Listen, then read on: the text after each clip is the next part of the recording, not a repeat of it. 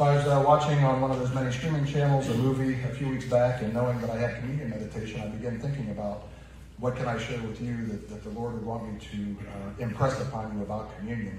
And uh, during the movie, uh, although it was not the, the plot of the movie, uh, one of the church members in the movie speaking with the pastor about struggling with this idea of faith that she cannot see Jesus, she cannot hear Jesus, but yet um, he expects us to have faith. And so the pastor uh, through some of that. And that reminded me of a verse uh, that talks about faith. And if you uh, don't have to turn, but probably many of you know it uh, from the love chapter, 1 Corinthians 13. The very last verse says, And now these three remain faith, hope, and love. But the greatest of these is love. And earlier in the chapter, it talks about love is patient, love is kind, it is not envy, it is not boast, it is not proud, it is not rude, it is not self seeking, it is not easily angered, it keeps no record of wrongs. Love does not delight in evil, but rejoices with the truth. It always protects, it always trusts, it always hopes, it always perseveres. Love never fails. And none of those things that love is can be touched or seen. So I want you to imagine if we go back a couple thousand years and Jesus is with the disciples at the Last Supper and he knows that he's going to ascend to heaven and not physically be here, even though his spirit will be here. He will physically not be here.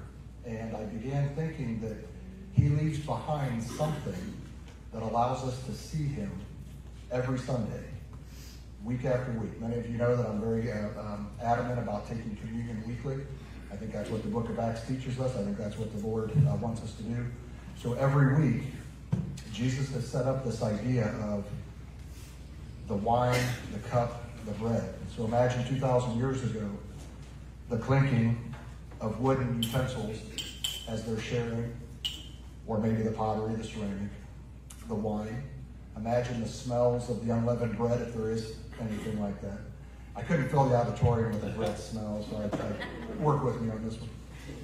But imagine the auditory noises that they're hearing, the conversations of the fellowship, the smells in the house that they're meeting in, as they're holding these elements, that they're feeling them with their fingertips, that they're smelling the aromas, they're seeing these elements, they're seeing others participate in the same activity.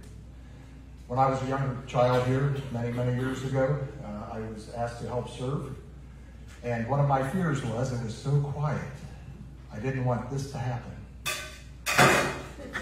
As you pass the plates, right? We would all be nervous about that noise. Who's going to be the one that clanks those uh, trays together as you pass them? But that was an auditory reaffirmation that Jesus exists. That's how we can hear Jesus. As we held the elements in our hand, we're holding a, a, symbolic representation of Jesus. As we smell the grape juice in the cup, uh, even today, and hopefully this worked earlier, right, Dave? Even today, Jesus not necessarily promoting foil and wafer and, and a cup. As we take communion every Sunday, if we all hear this, right? We're, we're hearing Jesus. We're feeling Jesus as we hold the cup. We're smelling the grape juice as we contemplate how we are as a, as a Christian, as a follower of Christ. We're hearing all these other people participate in the same activity. So our five senses can be used to experience Jesus every week. Even though we may not physically see him, we're seeing a representation of him. Let us pray. Heavenly Father, thank you so much for communion. It was so wise back then to give us something that allows us to see you and hear you and feel your presence, Lord. Even though we may struggle with faith, Lord, we know that communion brings us back to you, allows us to reconnect with you. Uh, you died for our sins. This communion reminds us of that, Lord. And I pray that your spirit be upon us to give us that peace, Lord. We pray that the monies that are collected help expand your kingdom, uh, both here locally and uh, throughout the world. We pray this name, Jesus. Amen.